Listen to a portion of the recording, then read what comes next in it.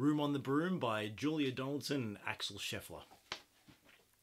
The witch had a cat and a very tall hat and long ginger hair which she wore in a plait. How the cat purred and how the witch grinned as they sat on their broomstick and flew through the wind.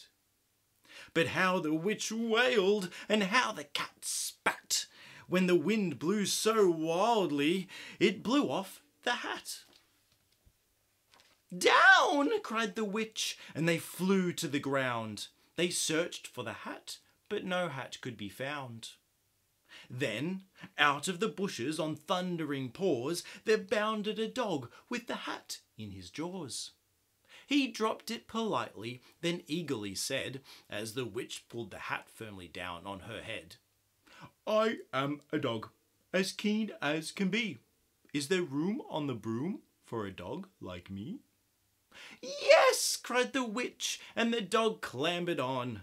The witch tapped the broomstick, and whoosh, they were gone. Over the fields and forests they flew. The dog wagged his tail, and the stormy wind blew. The witch laughed aloud Ha ha and held on to her hat. But away blew the bow from her long ginger plait. Down! cried the witch, and they flew to the ground. They searched for the bow, but no bow could be found. Then, out from a tree, with an ear-splitting shriek, there flapped a green bird with the bow in her beak. She dropped it politely and bent her head low, then said, as the witch tied her plait in a bow, I am a bird as green as can be. Is there room on the broom for a bird like me? Yes, cried the witch, so the bird fluttered on. The witch tapped the broomstick and whoosh, they were gone. Over the reeds and rivers they flew. The bird shrieked with glee, and the stormy wind blew. They shot through the sky to the back of beyond. The witch clutched her bow, but let go of her wand. Down! cried the witch, and they flew to the ground. They searched for the wand, but no wand could be found. Then, all of a sudden, from out of a pond leapt a dripping wet frog with a dripping wet wand. He dropped it politely, then said with a croak, as the witch dried the wand on a fold of her cloak, I am a frog, as clean as can be. Is there room on the broom for a frog like me? Yes, cried the witch, so the frog bounded on. The witch tapped the broomstick and whoosh, they were gone.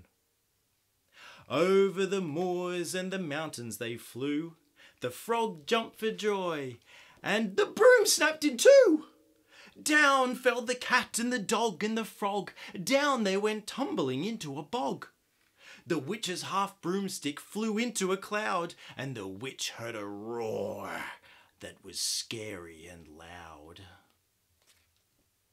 I am a dragon, as mean as can be, and I'm planning to have witch and chips for my tea.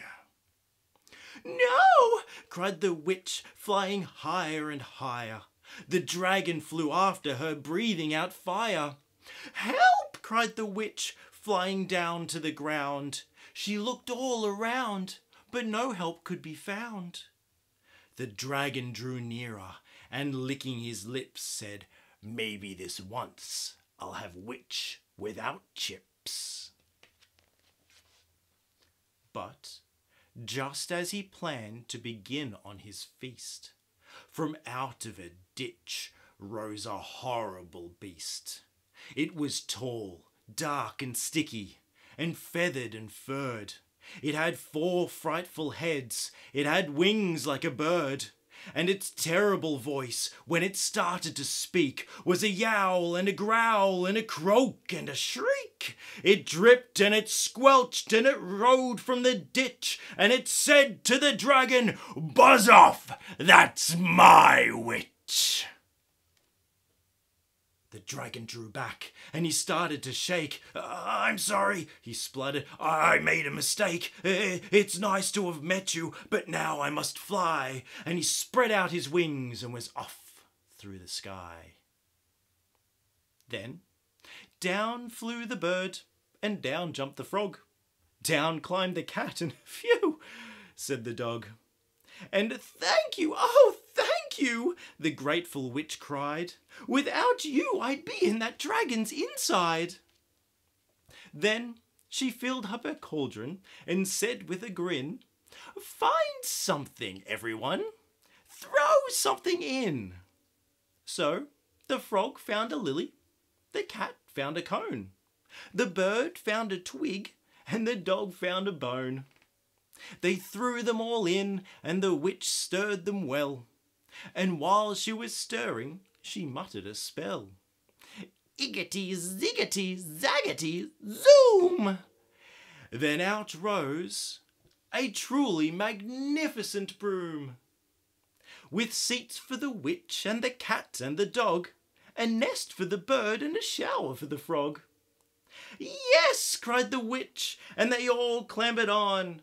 The witch tapped the broomstick and whoosh, they were gone.